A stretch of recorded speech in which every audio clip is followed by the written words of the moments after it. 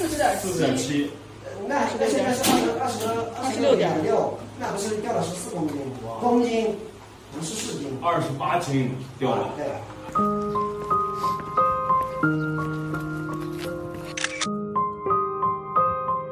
嗨，朋友们，在讲四虎是如何从四十点七公斤减肥到二十六点九公斤之前，想要先和大家，特别是第一次看我们视频的朋友，交代一下前情提要。我刚开始帮四虎减肥的时候，它是九岁半，属于老年犬。不过它身体的指标都正常，但是髋关节退行性病变比较严重。用当时医生的话来说，就是它这个腿基本上是废了。那它为什么是这么个情况呢？四虎从小是养在我们老家的，然后是由姥姥和妈妈带大的。老人喂狗呢都是一个样儿，就他觉得狗吃不饱。所以呢，他们不仅是喂得多，而且是啥都喂，什么包子、馒头、面包、饼干、糖炒栗子啊，都是一斤一斤的买，都是硬货，吃进去的热量多，但是消耗的没有那么多，所以就产生了热量盈余，它就越来越胖。反正在我的印象当中，四虎大概四五岁开始就是圆鼓鼓的样子了。那狗狗肥胖的危害不用我多说，接下来咱们就进入正题，聊一聊帮四虎减肥，我都做了哪几件事儿。好。做好，第一件事儿，管住我们自己的手。那通常说减肥，我们是说管住嘴啊，但是狗狗吃东西是由我们人来喂的，所以其实是我们要管住自己的手，千万不能心软。不营养、不健康的食物一点都不能给，要给就是健康的、营养的、低脂的、有饱腹感的食物，而且也要严格的控制摄入量。那过去这半年，四虎的饭主要是有两样：狗粮和水煮鸡胸肉。有时候我也会买龙利鱼，鸡肉和龙利鱼都是属于低脂的蛋白质。另外也会搭配一些新鲜的蔬菜瓜果，像是秋葵啊、西兰花、黄瓜、南瓜、苹果、树莓、蓝莓、黑莓这些。然后我现在院子里还种了紫甘蓝和羽衣甘蓝，而将来也是要给四虎吃的。看这。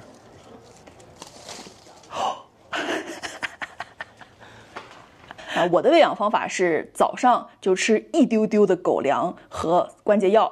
关节药的部分我会在迈开腿的那个环节讲啊，然后下午的时间呢，就是要么吃鸡胸肉、龙利鱼，要么是吃狗粮，这两个大概是一半一半的。然后前面说的蔬菜瓜果就也会给它搭配，比如说我今天正好水煮西兰花，我就会留两颗给四虎。然后像最近是蓝莓丰收的季节嘛，基本上每天早上我都撸上十几颗、二十颗给四虎。我不是说它早上狗粮吃的少嘛，就有时候狗粮还没有蓝莓的颗粒多。那总体饭量的把控呢，我倒是没有刻意的去称克数啊，我主要是看四虎的状态，还有观察它的粪便情况。因为四虎以前吃的多，它粪便是非常嗯嗯，呃，我给大家这么说吧，像去年爷爷回大同去接四虎的时候，他们在出发前两天就给四虎断了粮，但是直到他们在路上的时候，四虎还能上厕所。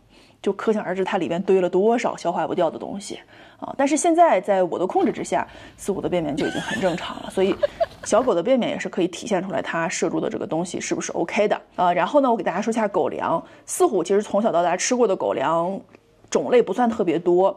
然后在它整个这个减肥期间呢，我们吃过两款。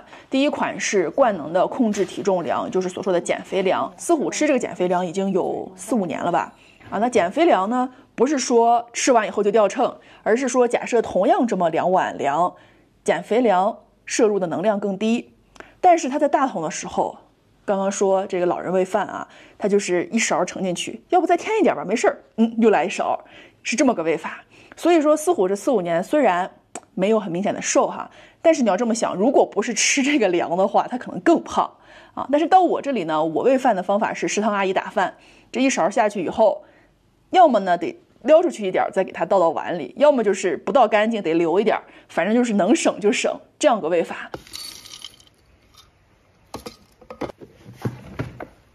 大概在今年五月份的时候，似乎已经瘦的挺明显了，我给它换成了 Halo 的老年犬粮，这个粮它也是低脂的，同时还有关节养护的作用。特别是我在美国一位兽医博士的一篇文章里边看到，就他讲到抗肿瘤饮食，提到了 Halo。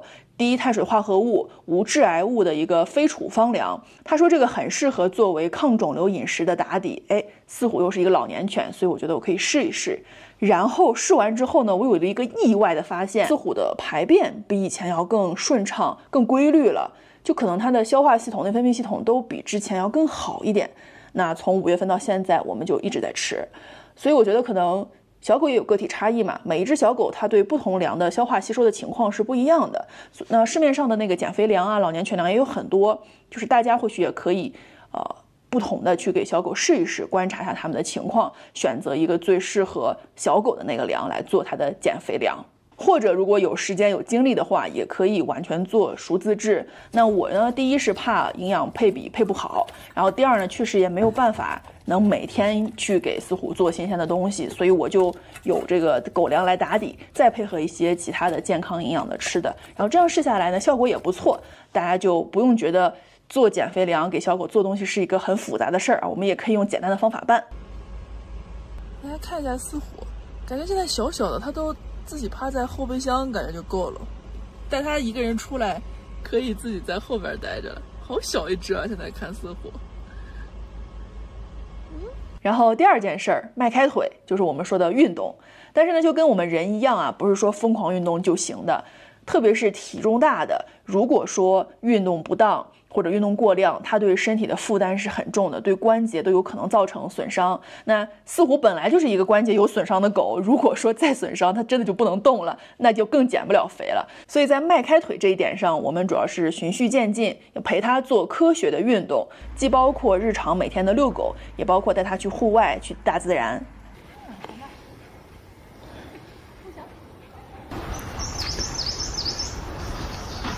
他刚来大理的前两三个月吧，我基本上都还是保持着他在大同的时候每天的那个运动量，就是每天的消耗保持不变。但是我喂饭喂的少了呀，所以呢就这样去制造那个热量的缺口。所以那段时间，如果我今天想带四虎去一个地方玩，那么那天早上我就会减少他的遛狗时间，可能在门口简单转一转，然后把他的这个户外的活动的量都留到出去玩儿。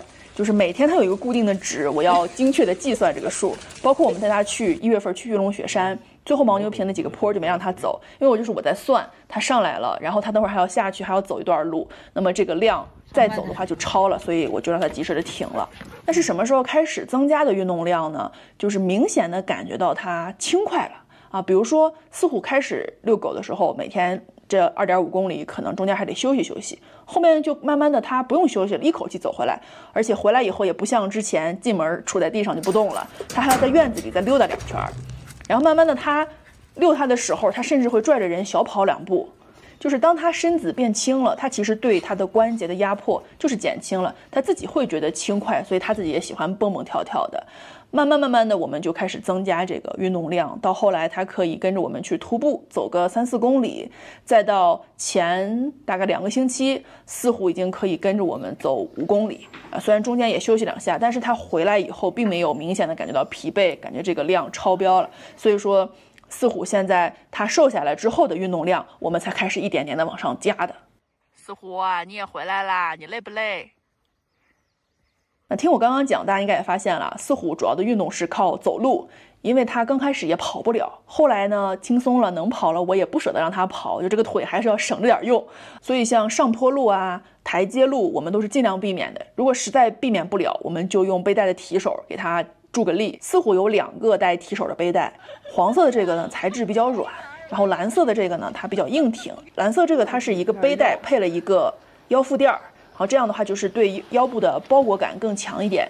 然后什么时候用呢？就如果说，比如说是这种上下车就一瞬间的事儿啊，那这种时候呢，用那个黄色的啊也没问题。但如果说像，比如说那天我们去体检要走一个楼梯，那我们就会用那个蓝色的，它力就是拖四虎的那个力会更舒服一点。捡了个降落伞。带四虎出去玩，我最喜欢就是开车可以直达美景的那种地方，把那个车里弄得宽敞一点、舒服一点，这样四虎的路上睡觉也可以换换姿势，不至于一直压着腿。然后到地方之后呢，他开了就玩。像我们前段时间去那个哈巴雪山德拉营地，如果说我们那个车不能开上去，四虎是不可能从哈巴村一直走到那个地方的。但是我们车上的去了，哎，这个地方就特别好。下车以后，四虎可以在原地玩儿，然后我们呢又可以进行。更长途一点的徒步，就大家都可以玩得好。其实呢，胖子减肥游泳是很好的方式，它不伤关节，而且四虎也很喜欢玩水，水猎犬。大理呢又是一个溯溪很方便的地方，有很多可以玩水的地儿。我们在四虎去过一次，游是能游啊，但是那个水下溪水嘛，下面石头多，它上来的时候腿还是有点费力的，而且我怕它打滑再扭伤。所以后来就没再去过。总之就是在迈开腿和保护腿两者之间一直在努力的寻找平衡。所以我说这第二点，迈开腿是特别花心思的。你既不能为了运动而不管腿，也不能为了保护腿而不动。不运动的话，它慢慢慢慢肌肉没有了，其实是更容易受伤的。还有四虎的医生跟我说过，我们不要去干预狗狗正常的生命活动啊。但是我们作为家长呢，可以对疼痛方面做一些干预。所以呢，这里就给大家再分享四虎的两个关节药，一个是这个维特氏的鲨鱼软骨素，四虎吃的是医护版，医护版就是专门针对于关节已经有明显不适、问题比较严重的小狗的，它里面添加了 MSM，这个是对呃缓解肌肉不适有帮助的。吃这个药的契机我要给大家讲一下，大概是去年四五月份的时候，有一天妈妈发消息说四虎走不了了。平常我不是说他每天早晚各一次，每次一小时嘛。但是那天早上似乎连小区都没走出去，就坐着不能动了。然后妈妈就反正一点一点、一点点的把他领回家。那我当然知道这个消息，我挺着急的。但我也知道，那肯定就是腿的问题嘛，太胖压迫的。然后我就在网上做了一些功课，也问了问一些养狗的朋友。最后呢，就是买了这个的，先说给他试一试。我还真的没有想到，大概就过了一个星期吧，似乎就已经恢复正常遛狗了。呃，就是它原来的那个量，我觉得这个还挺神的。反正从那之后，这个药就再没停过。我们到现在给四虎，我买没有二十瓶，也有十七八瓶了。不过呢，它以前胖啊，它一顿得吃六颗或者八颗，现在只需要吃四颗了。啊，就是它是按那个体重剂量来吃的。然后第二个药是卫士今年新出的筋骨魔方，它主要是对筋骨系统的一个保养，当然也缓解疼痛。我们现在是每天晚饭的时候给四虎吃这个。应该也是多种因素共同作用的结果。反正四虎的这个腿的状况是越来越好了。包括我们最近去体检，医生看他那个片子，不是也说嘛，不仅没有加剧，反而感觉还有所缓解，就达不到好的标准，因为那个损伤是不可逆的。但是通过看片子，觉得四虎会比之前那个状况，他自己的腿会更舒服一点。这已经是一个很好、很好、很意料之外的结果了，就我挺知足的。就明显能感觉他以前胖，起身也困困难，所以他在家里如果趴着睡觉，他可能就是扭来扭去睡一天。但是现在他起身特别轻松，有点什么动静，嗯，起来了。市面上类似这样的关节药的产品是有很多的，大家也可以多搜一搜看，然后嗯，试着吃一吃给小狗，然后或最主要的是找到对它真的有效的那一款，然后坚持吃。啊，那这第三件事儿就是坚持了，这也是最有挑战、最难的。坚持管住我们自己的手，坚持迈开狗的腿。其实四虎减肥这个，我真的是也是做好了要打持久战的准备的。毕竟它是一只老年犬，在减肥这个事情上要顾虑的事儿挺多。啊，但是呢，我确实也没想到半年的时间能有这么大的一个效果。中间其实是有过瓶颈期的，就跟我们人减肥一样，就有一段时间怎么看着一个样，没有再没有再往下瘦呢？但是，在看不见的那些地方，其实努力都不白费。就有一天你突然感觉到，哎呀，似乎这个腰身怎么这么明显？你摸摸他的那个背的时候，发现，哎呦，这个脊柱怎么摸得这么清楚？就是效果还是很突出、很明显的。以上就是这半年帮四虎减肥的一个过程，希望可以帮到也想帮狗狗减肥的家长们。如果大家还有什么疑问或者想要继续交流的，我们就评论区见。那今天视频就到这里，下期见，拜拜。你要这么高呢？